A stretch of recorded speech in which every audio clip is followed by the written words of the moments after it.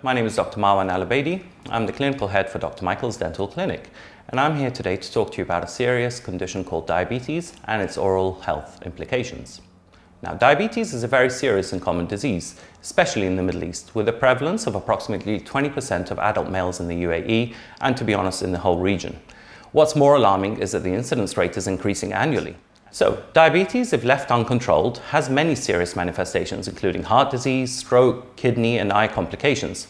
However, one of the lesser known complications of uncontrolled diabetes is the link to periodontal or gum disease. Periodontal or gum disease is a disease of the structures that support the teeth, such as the gums and the bone. And when left untreated, this could lead to a spectrum of symptoms, including pain, bad breath, mobility or looseness of the teeth, and eventually even the loss of the teeth themselves. Now, people with diabetes are at an increased risk for serious gum disease because they're generally more susceptible to bacterial infections and have a decreased ability to fight bacteria that invade the gums.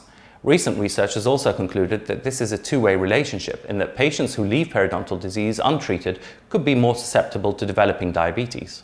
Other oral problems associated with diabetes include thrush, which is an infection caused by a fungus that grows in the mouth, and dry mouth, which can cause soreness, ulcers, infections, and even cavities as the saliva rate decreases.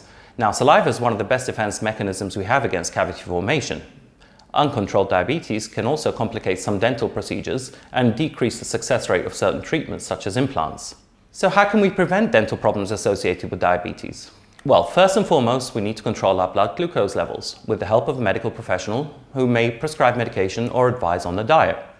We also need to take good care of our teeth and gums, of course, and with effective cleaning and regular dentist and hygienist checkups at least every six months. Now, if fungal infection occurs, we need to control it once again by maintaining good diabetic control of the blood glucose levels, stopping smoking, and if dentures are worn, they need to be removed and adequately cleaned daily. In some cases, antifungal medication may be prescribed by a dentist. And good blood glucose control can also help prevent or relieve dry mouth caused by diabetes. Your dentist and hygienist are best placed to tackle any oral complications that may arise due to diabetes. And we at Dr. Michael's Dental Clinic look forward to welcoming you and ensuring you have a healthy, beautiful smile.